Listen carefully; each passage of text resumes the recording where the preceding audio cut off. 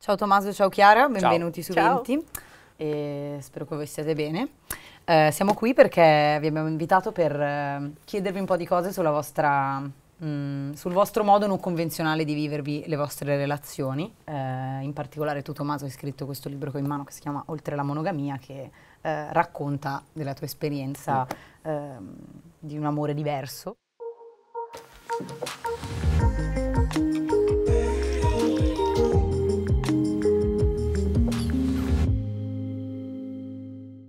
Visto che c'è anche nel libro e inizierei un po' seguendo l'indice, mi piacerebbe che mh, ci introducessi che cosa cambia anche rispetto ai termini che si usano, cioè perché poliamore è diverso da poligamia, da coppia aperta, eccetera, eccetera.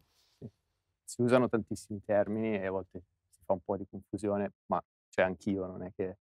Eh, diciamo che poligamia forse è la prima cosa che, che viene in mente, soprattutto magari a persone di una certa età, eh, perché ne sentiamo parlare, è un, insomma, un dato culturale piuttosto rilevante, però si riferisce a persone che hanno più mogli o più mariti.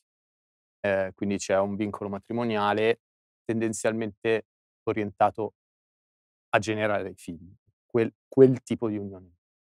E, quindi, per esempio, io non, non posso definirmi poligamo, non sono sposato e quasi sempre nella poligamia c'è un vincolo, quindi per esempio più tipicamente l'uomo ha molte mogli, ma queste mogli non possono avere altri, altri mariti. Quindi di solito è unidirezionale. Eh, ci sono poi eh, in alcuni popoli invece anche situazioni in cui entrambe le parti di questa unione hanno una loro libertà. E coppia aperta forse è, è la, così, la, definizione che più, eh, è più comune invece a livello così, pop, meno etnografico. E, Era però stato anche su Facebook, non so se vi ricordate, c'era la possibilità di mettere in Ah, coppia, sì. coppia aperta. Open relationship. Open sì. relationship. Poi it's complicated.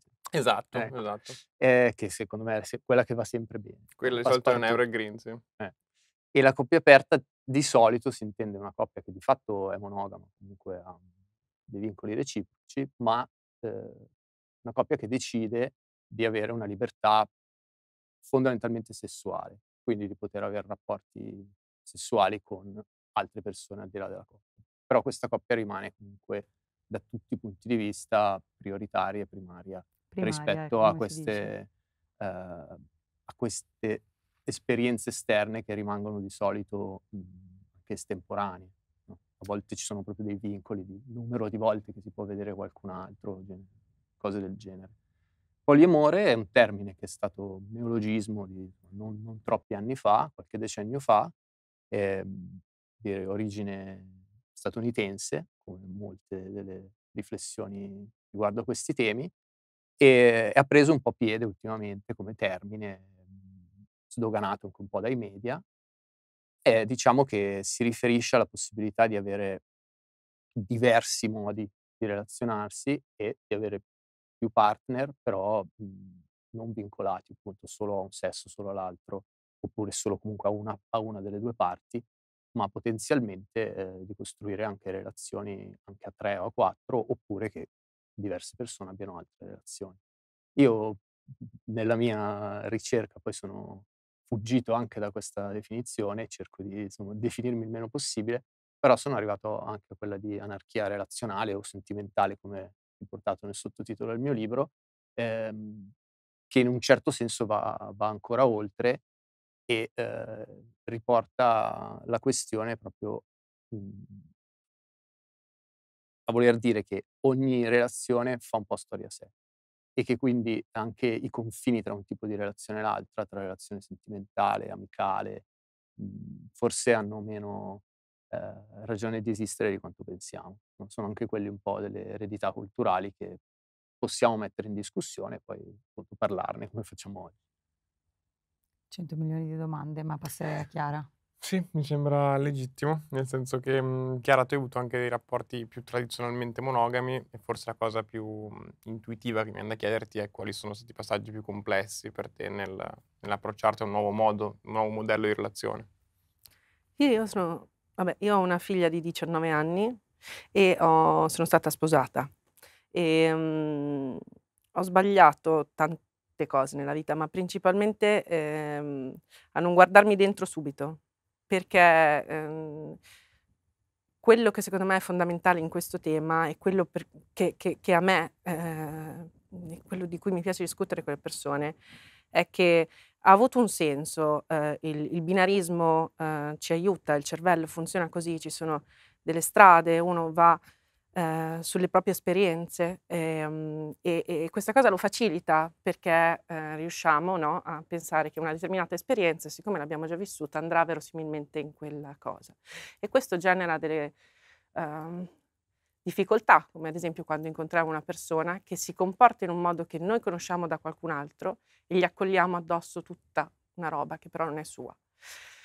E ha funzionato per un certo periodo di tempo perché le relazioni monogame, la, la, la, l'impostazione della famiglia tradizionale salvaguardava tante cose e quindi io non, non, non, non, discuto quello. Quello che discuto è nel 2022, e gli errori che ho fatto io sono, com'è possibile che non capiamo che quel tipo di relazione è una scelta. La relazione monogama tradizionale è una scelta, è una delle possibilità, se è quella che ti piace bene, ma non può essere la base niente nella vita ha una base, perché siamo tutti diversi. Abbiamo avuto delle educazioni diverse, vissuto delle cose diverse e quindi la base non esiste.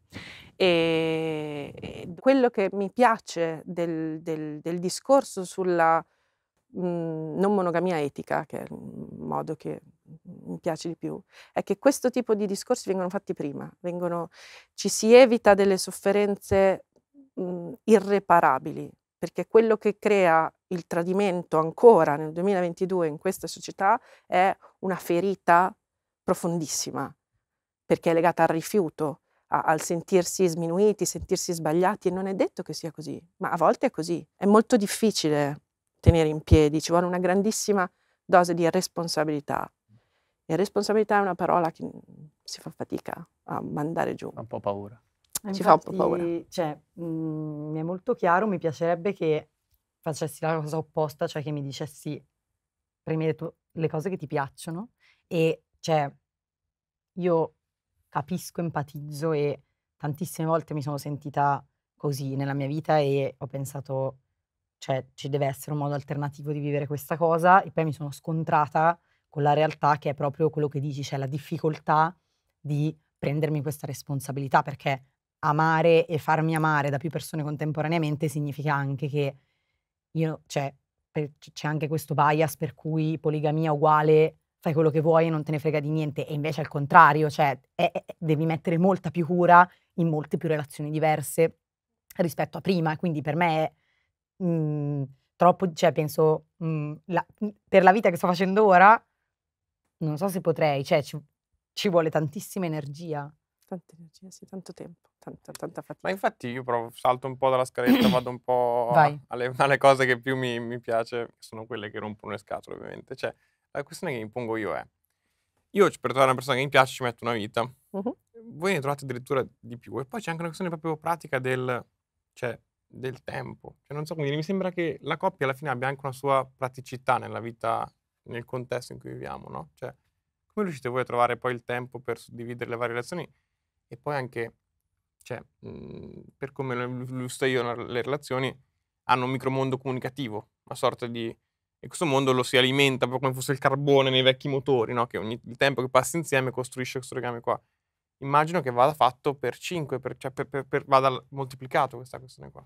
Sì, sulla prima cosa, cioè non, in nessun modo deve diventare un obbligo, per cui eh, se mhmm, tu non, non, incontri nessuna persona che ti fa... Sono poche le persone Beh, ma fighe questo mondo, cioè. Cioè, non, non vero, ti impedisce, anzi a maggior ragione dovrebbe dire, però hai ragione anche tu, cioè. dovrebbe farti pensare, eh, lascio aperta la possibilità, che poi magari non si realizzerà mai, però eh, il, il, far diventare un, una cosa che tendenzialmente non succede, un vincolo che non deve succedere, ti fa poi eh, parlare col freno a mano tirato a una persona con cui magari hai un inizio di, di intesa, però sai che non puoi arrivare lì. Poi a seconda del tuo carattere, io mh, diciamo fino a una certa età, fino a poco dopo i vent'anni, ero rigidamente monogamo, quindi quando proprio subodoravo un possibile, eh, ma avevo deciso che ero innamorato di un'altra persona, magari manco corrispondeva, ma io ero già lì, eh, basta, non ci parlavo nemmeno con la- l'altra persona,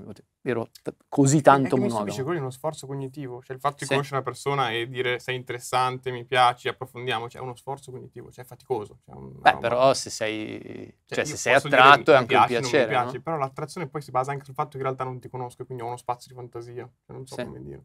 Anche quello. Però non ho più fatto una domanda in realtà. Ho fatto Vabbè, solo ma un- è- Vabbè, è un ragionamento ballo interessante. Però è, è- così, nel senso che, ehm, quello che, quello che, che lo stato mentale in cui ti metti, se, se- se individui questo come il tuo sistema relazionale, è banalmente di non avere il preconcetto, l'etichetta, le cose che, che- che ti consentono di andare in, in terza.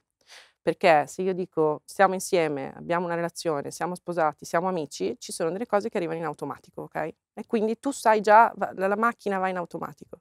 Questa cosa qua invece, in tutte le relazioni che hai, ti consente di scegliere sempre, ogni giorno, Ti costantemente. consente ma ti costringe anche. Ti consente e ti costringe cioè, a- a- a- a- a relazionarti veramente con le persone con cui hai. Quindi per, per rispondere a quello che tu dicevi prima, non è che necessariamente tu, se, se- se dovessi dire, va bene, ok, provo a pensare di aprire la testa a questo sistema, magari non ne, non ne trovi un altro per cinque anni, perché magari per cinque anni nessuna delle persone con cui parli ha quel- quel- quella scintilla in più che ti farebbe dire, però sicuramente ami meglio la persona con cui stai adesso, 100%.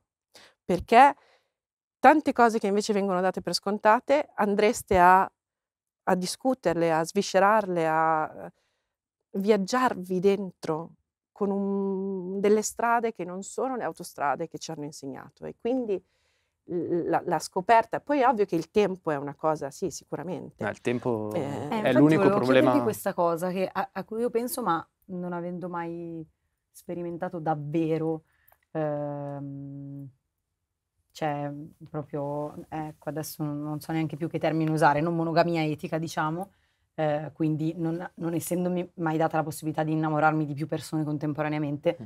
non lo so, però ho come l'impressione che un'altra barriera sia,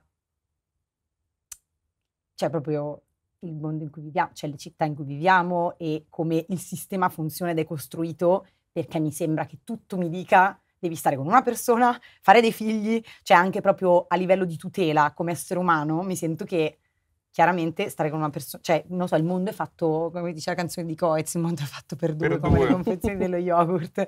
Cioè, mi sembra che sia così, quindi È mi così. sembra che un altro ostacolo sia anche proprio che poi, cioè non è così semplice anche, e, e questo lo chiedo a voi, cioè sia proprio a livello di struttura, ma anche di relazione con gli altri, cioè mh, gli altri, non i partner, dico le altre persone a Sì. cui poi devi raccontare di essere questo. Cioè mi sembra sempre una cosa tipo che parlerebbe prima di me, gigante, ingombrantissima, che io devo, di cui mi devo prendere cura e in questo momento mi sento che non ho spazio mentale neanche per, non so, scegliere quale libro devo leggere, neanche leggerlo, capito? Sì. E quindi mi sembra un lavoro gigante e mi sembra di vivere in un mondo che non mi dà lo spazio per farlo davvero.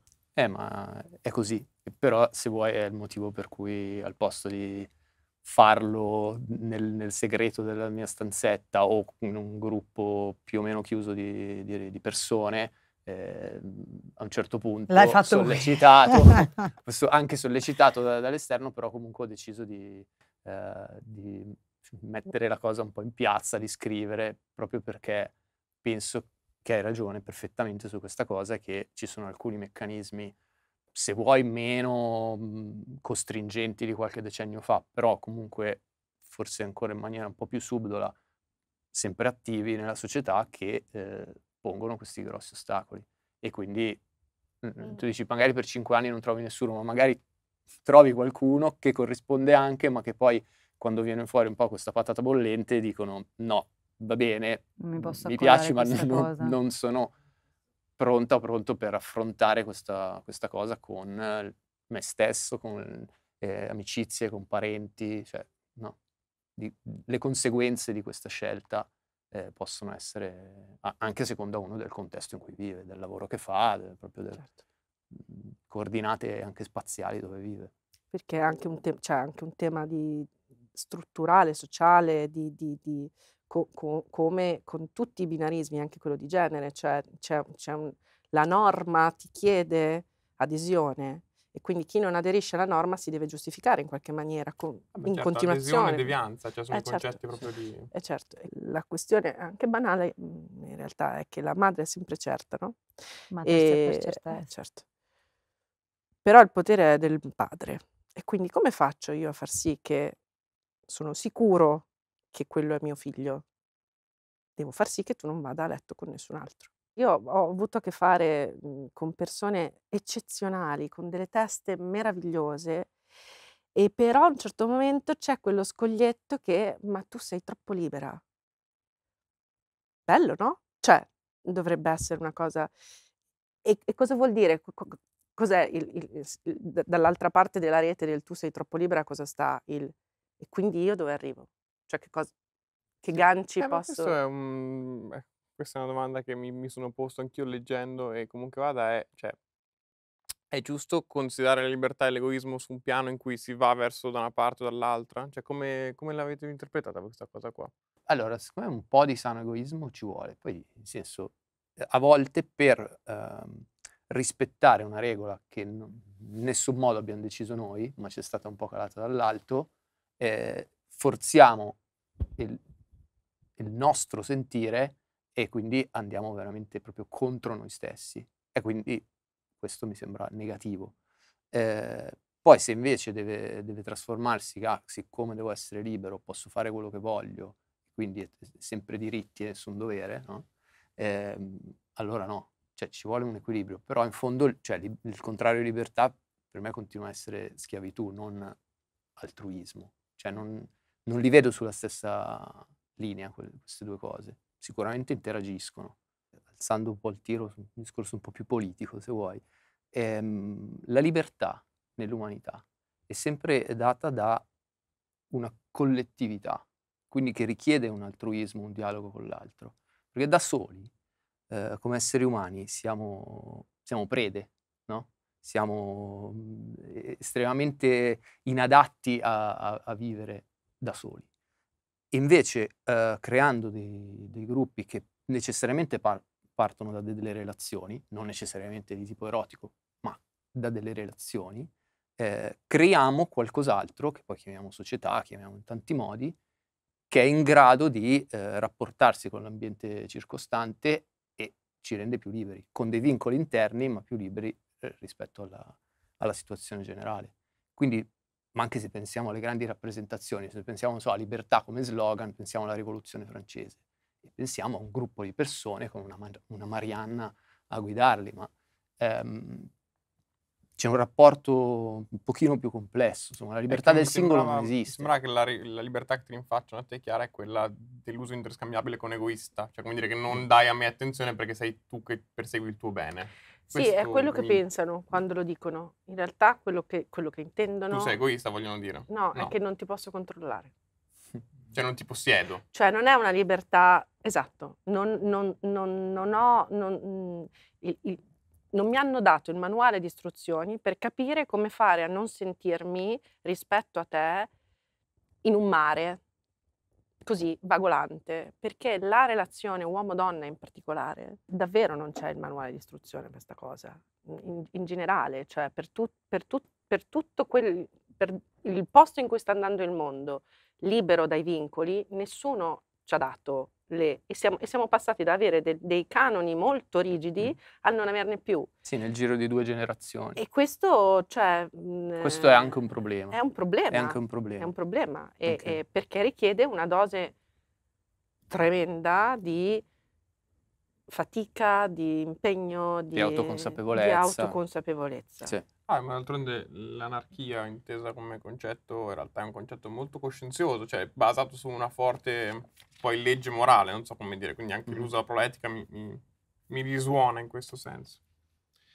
Mi interessa, mi interessa moltissimo il capitolo sulla sincerità perché, non lo so, delle volte penso che il valore morale assoluto che viene dato alla, alla sincerità, eh, non lo so, sia strano, cioè non mi sento, non mi sento affine a mm, credere che la verità sia sempre la scelta giusta, Mm. anche perché cioè, che significa verità? La mia verità? Cioè, non lo so, mi sembra proprio un concetto talmente tanto ehm, attorcigliato anche che, eh, non lo so, cioè, mi chiedo come ve la gestite voi, come vi vivete il concetto di sincerità all'interno di delle relazioni dove a volte è complesso sia esserlo che non esserlo. Sì, è molto complesso anche perché adesso non so se tu ti riferivi a questo, però eh, il discorso spesso viene fuori rispetto al dire o non dire che si è stati a letto con qualcun altro. In realtà ci sono tantissime altre cose che in una relazione di qualsiasi tipo possono essere problematiche da dire. E quindi eh, il fatto di dover il fatto di dover mentire alle persone è una cosa che tendo a escludere a priori, penso che possa generare solo, eh, solo cose negative. Dall'altra parte è quello di vomitare addosso alle persone a cui in teoria vogliamo bene, qualsiasi cosa, qualsiasi peso di cui ci vogliamo liberare può essere altrettanto problematico. E quindi anche lì è meno dogmatico di quanto uno spererebbe, no? Ah, devo seguire la regoletta, quando ho capito che è la regoletta giusta o comunque giusta per me, allora sono a posto. Invece no, puoi applicare come in un sistema così giudiziario, tu sei esperta, ehm, applicare delle regole poi nel nei casi specifici spesso è molto difficile, bisogna tenere, tenere conto di un- una serie di, di contingenze che non si erano previste. Quindi sì, non è, io ce l'ho ancora un po' come ossessione, quella della, della sincerità e della verità. Sono partito da lì molto più che dalla libertà sessuale, eh, dal, dal fatto di poter permettermi di essere sincero, sapendo di andare incontro delle conseguenze, ma non volendo giocare uh, a quello che avevo visto essere un po' un... Provocazione. Vai. A volte non è un po', ehm, cioè non so come dire, no, è come se eh, si pensa sempre che mm, bisogna dire la verità a tutti i costi. A volte dire la verità non è un po' egoista, cioè ho fatto questa cosa, me ne libero, ti accollo a te questo sbattimento Sì. gigante, ma potevo benissimo tenermelo per me, cioè... Lo diceva. È proprio mm, così. Cioè, a volte è proprio così. Però, d'altra parte, anche tenersi... Cioè, se, se la scelta è solo quella, eh, a volte anche il tenersi dentro una cosa che poi fermenta, quasi sicuramente, e poi esplode in una maniera completamente... proprio nel posto, nel momento sbagliati in assoluto, eh, è, è ancora peggio. E quindi bisogna trovare il modo di far uscire queste- questi pesi che uno ha, ha dentro e trovare il momento e il modo giusto è, è una delle cose più difficili che si hanno, io penso in qualsiasi tipo di relazione, perché poi cioè, parliamo, siamo partiti da, da un certo tipo di relazione, ma poi Sì, sono si argomenti che si applicano a, a tutte. Io ho una regola difficilissima, ma valida tendenzialmente. Non posso permettermi di pensare per te. Perché quando viene fatto nei miei confronti, generalmente poi Mm. molto spesso, e questo non solo in questo tipo di onestà e di, e di ricerca della verità, se tu mi dici, guarda, eh, per me alcune cose non, non è necessario che tu me le dica, io posso pensare che se non te le dico poi dopo ci allontaniamo a un certo momento, se- ma che può essere qualsiasi cosa. Ci sono tante persone che io conosco che ad esempio non mi parlare dei tuoi problemi sul lavoro, non mi parlare di questa cosa qua, non mi dire questa cosa qua, perché non cioè, io posso pensare che sia una cosa che poi alla lunga ci allontana, ma se tu me l'hai chiesta, io ti do quello che vuoi, perché non posso permettermi di pensare per te. Perché se, se se lo faccio, anche con la migliore delle intenzioni, inevitabilmente poi si arriva a un'incomprensione di, di base, uno, uno- uno scontro che non è necessario. Dopo, molto spesso siamo convinti, io poi che sono un'altezzosa faccia di cazzo, sono spesso convinta di sapere meglio Era la tua descrizione Sì. del profilo Tinder, no? Tinder, di sapere meglio di te quello che è giusto per te. Ed è, e, e- e ci ho messo degli anni per, per, rendermi- per potermi fidare delle persone. Questa è una questione di fiducia, cioè io mi fido al 98% soltanto di me. Se tu mi chiedi di fare una cosa che io non farei distinto, mi devo fidare di te, mi devo fidare della tua coscienza e a questo punto poi, poi è, è lì che poi dopo ci si, ci si intreccia. Quindi se tu mi dici non me lo dire se ti sei, eh, se, cioè se è una cosa di una sera non me lo dire, dimmelo se è un, va bene, non te lo dico, anche se se fosse per me, perché per me non è un problema, piuttosto che come questa ce n'è tante altre. Non è un carattere un po' quasi mh, giuridico questa cosa? cioè, nel senso... L'hai scoperta. Cioè, è, è come dire come se ogni clausola del rapporto fosse un po' esplicitata, che poi magari è sana, cioè magari invece è giusto perché uno evita di incappare in errori contrattuali, cioè però è Eh. curioso, no? Cioè, Sì. sembra anche faticoso questo processo di Eh, è quello che negoziazione. dicevo, cioè, secondo me è faticoso. più faticoso. È, è Perché le faticoso. regole già scritte sono là, non le devi pensare, non le devi negoziare, sono quelle. Io sto con te, tu stai con me, non ci tradiamo, fine. Chiaramente è molto Però più... questa cosa qua è ancora più, perché è proprio settoriale, cioè tipo, allora, no lavoro, sì questo, quello, cioè... è- Però succede sempre. eh. Certo, ma infatti... Sì. Cioè lo scambio, del resto... le- le- le- di solito non, non lo si deve fare poi su più piani, no? Perché Mm. c'è quella la cosa... Cioè io so che magari con il mio partner monogamo non, non, affronti- non ha piacere parlare di questa cosa qua, fine. Invece va riproposto poi in diversi scenari con diverse complicazioni. Sì. Sì, sicuramente, però a quel punto lì è il tuo modo di avere a che fare con una persona nuova. Certo. Di, di qualsiasi tipo, cioè sia che tu diventi mio amico, sia che tu diventi...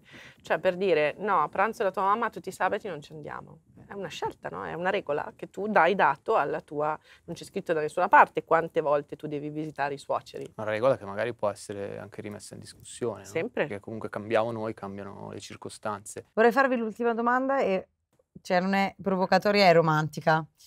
Come vedete le vostre relazioni da anziani? Bella, vuoi iniziare tu? Ah, io, io ci spero sempre che arriverà quella casa sul sulla collina e tutte le persone a cui voglio bene, i nipoti, le cose, tutto un casino di figli, una roba, guarda veramente. Guarda veramente, mi piace. Sì, anch'io ho un'idea così, di una sorta di, di comune, Comune. ma non eh, quello che mi dà fastidio un po' dei comuni che poi tendono a essere no, isolate, quindi diventare sette. E invece il fatto che sia eh, un luogo fisico o, no, aperto comunque. Sì, Molto bello. poi bisogna arrivarci. Grazie mille. No, Grazie a voi.